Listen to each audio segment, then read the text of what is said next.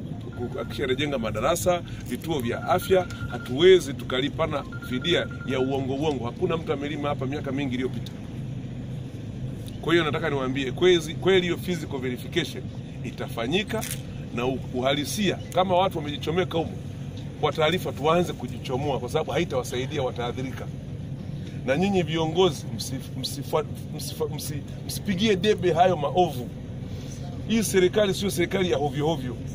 Tunajua hapa kuliko kabla ya nyinyi hamjajua, hamjajua kitu gani kitafanyika. Sisi tulishakuja tukafanya survey tukajua, si ndio? Tukaja tukawaambia. Sasa nyinyi mnaanza kuweka alama na kuuziana, wakati tumekuja kuambia sisi kwamba tunataka kufanya kitu gani. Sisi tunajua kila kitu kitakachofanyika. Kwa hiyo yule ambaye alikuwa kweli anamiliki kiasili hapa, babu yake au wazazi wake walifyeka hapa, au yeye alifyeka, au aliwahi kumiliki, ukweli utabainika, lakini si kweli kwa uongo huu unaotaka kuwekwa na alama alama hizi nyingi zilizowekwa. Huu ni uongo na ni utapeli tu. Wananchi mnaokaa katika kijiji cha Iruma sasa mtanufaika kwa sababu mtapata sehemu ya kufanyia biashara na maeneo yanayozunguka eneo la mradi, yote ni maeneo huru ambayo mtafanyia biashara, lakini msikwaze mradi.